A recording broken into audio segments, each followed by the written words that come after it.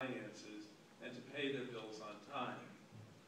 Finally, the Community Reinvestment Act, which encourages financial institutions to serve the credit needs of their communities, uh, can also play a role in, its, in financial literacy.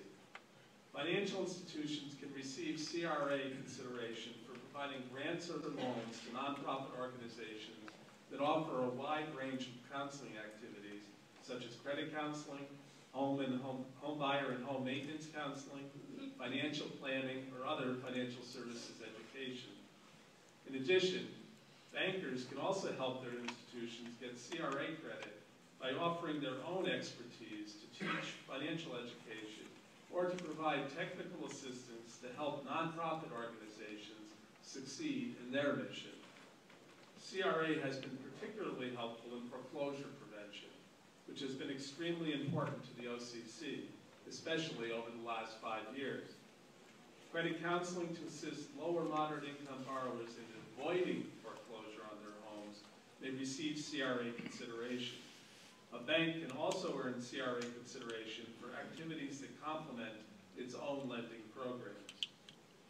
Some banks have found that it is effective to contract with a community organization to provide home ownership counseling to low and moderate income home buyers as part of their mortgage programs. And these partnerships are eligible to receive CRA consideration. A bank can also provide credit card counseling or the financial expertise of its executives free of charge to community development organizations. At the OCC, we dedicate significant resources to help banks understand how they can meet their CRA obligations.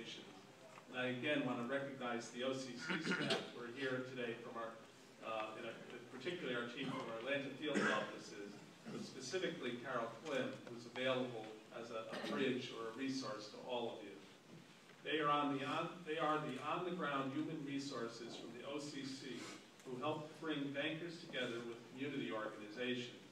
By conducting roundtables, training, and seminars, they are able to highlight community development opportunities and bring participants together to address critical financial needs in the community.